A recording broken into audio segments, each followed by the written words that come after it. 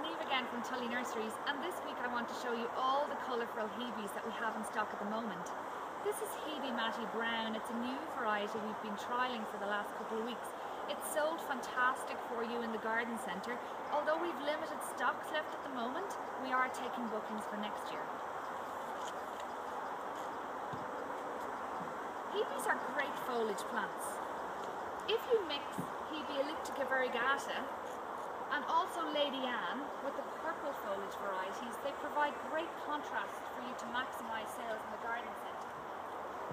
We have lots of exclusive varieties, exclusive to Tully Nurseries that we've bred ourselves, including strawberries and cream, pink candy, as I've mentioned, little red rum and raspberry ripple.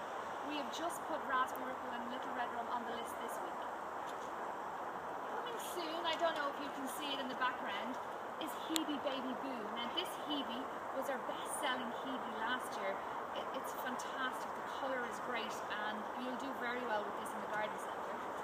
And finally, Hebe Rhubarb and Custard.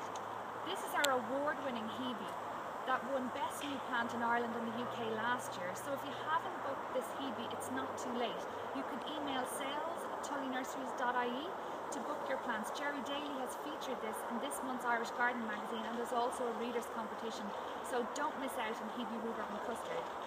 Tune in next week to hear the rhubarb and custard story and have a great Easter. Thanks.